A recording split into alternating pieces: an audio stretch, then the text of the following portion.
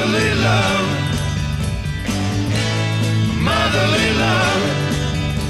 Forget about the brotherly and otherly love. Motherly love is just a thing for you. You know your mother's gonna love you till you don't know what to do.